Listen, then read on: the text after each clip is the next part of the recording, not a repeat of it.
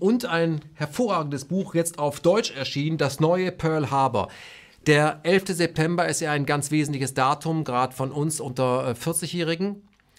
Und seit dem 11. September hat sich sehr viel geändert, nicht nur die Geopolitik, sondern vor allem eben auch der Journalismus. Dieses Buch von äh, David Ray Griffin gab es ja lange Zeit nur in Englisch. Jetzt liegt eine deutsche Übersetzung vor. Ich kann nur raten, dieses herausragende Buch äh, sich zu kaufen. Das neue Pearl Harbor überarbeitete Auflage.